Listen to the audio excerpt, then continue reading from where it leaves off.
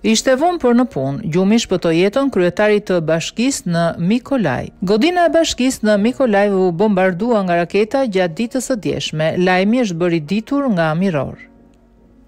Sipas mediave të huaja, kryebashkiaku qëlloi me fat që nuk u zgjua në kohë dhe nuk shkoi në orar në punë, sepse në këtë mënyrë ai nuk u gjend në bashki në momentin ku rusët e bombarduan atë.